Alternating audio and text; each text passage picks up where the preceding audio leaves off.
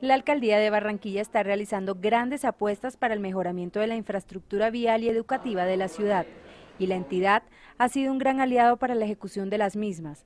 Por ello desembolsó más de 52 mil millones de pesos. Estos recursos hacen parte de un crédito por 360 mil millones de pesos que la financiera le aprobó a la capital del Atlántico para financiar proyectos del Plan de Desarrollo Barranquilla Capital de Vida.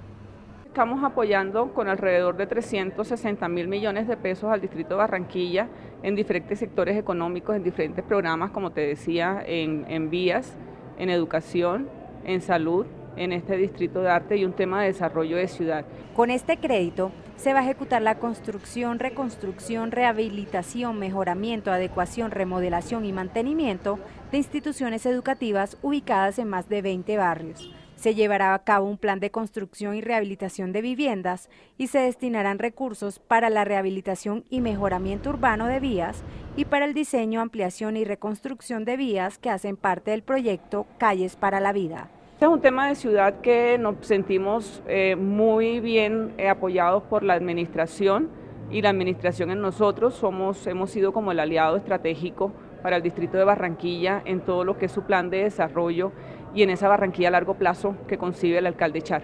Findeter también ha respaldado iniciativas como la Fábrica de la Cultura y el Camino Adelita de Char.